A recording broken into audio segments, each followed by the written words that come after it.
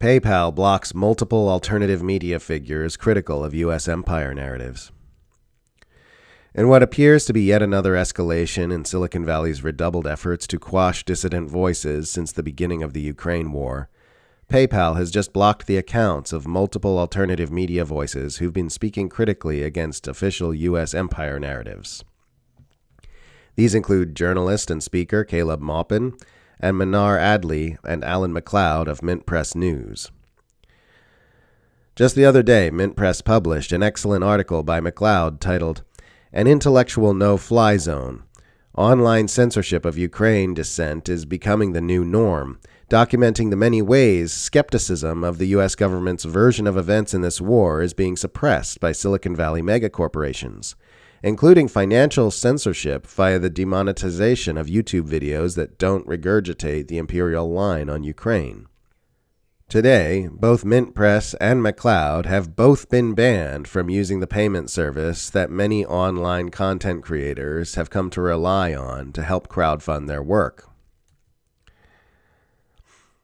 MintPress News happens to have published critical journalism about PayPal itself in the past, like the articles it published in 2018 by Whitney Webb, documenting the way shady PayPal linked billionaires Peter Thiel and Pierre Omidyar have advanced the interests of the U.S. empire and facilitated imperial narrative control.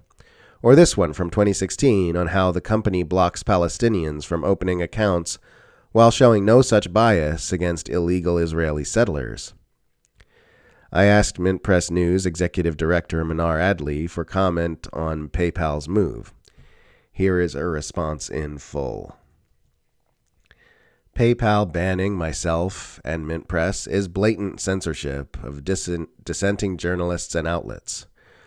For the past decade, MintPress has been unapologetically working as a watchdog journalism outlet to expose the profiteers of the permanent war state from the wars in Iraq, Afghanistan, Libya, Somalia, Sudan, to apartheid Israel's occupation of Palestine and Saudi Arabia's genocidal war in Yemen to regime change operations in Syria, Ukraine, and Venezuela, where U.S. weapons have flooded these nations to plunge them into devastating civil wars.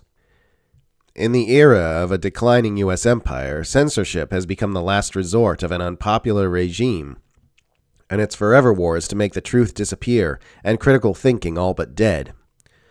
With the war in Ukraine raging on, we've entered wartime, and big tech giants, including PayPal, are working hand in hand with the new Cold War architects themselves to sanction dissenting journalists.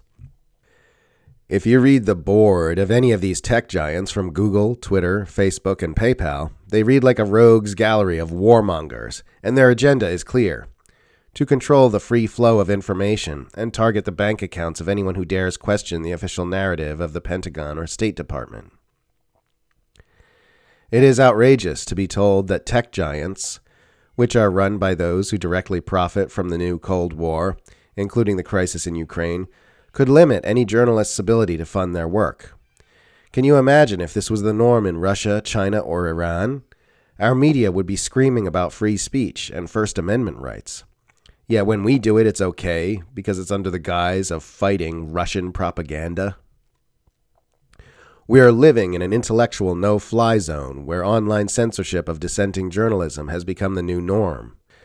The U.S. sanctions regime that is trying to starve Russia, Venezuela, Zimbabwe, Cuba, and Iran, and over 25% of the world's population, is now targeting its own citizens with maximum pressure campaigns, so we are forced to toe the official government line in order to survive as a journalist in alternative media today.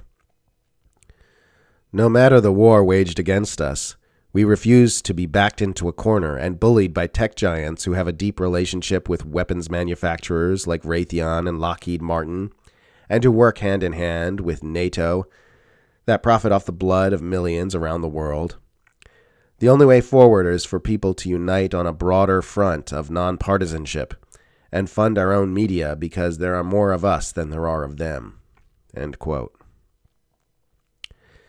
PayPal has also banned Caleb Maupin, an American speaker and journalist whose work has already seen his personal Twitter account branded Russia state affiliated media by the U.S. state affiliated platform. Why should something as basic as cash transactions be subject to political censorship, said Maupin when asked for comment.